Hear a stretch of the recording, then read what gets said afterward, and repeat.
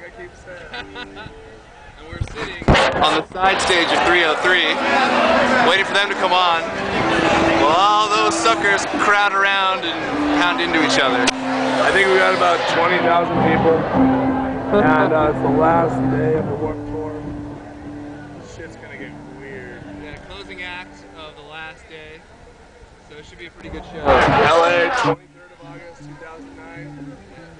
he was here in the beginning, he's here at the end.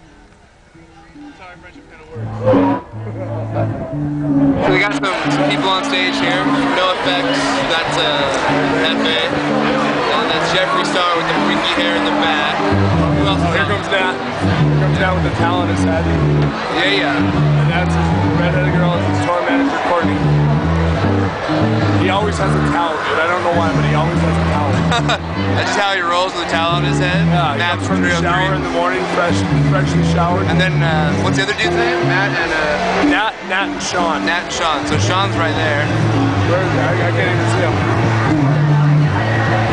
Nat's just too tall. Yeah.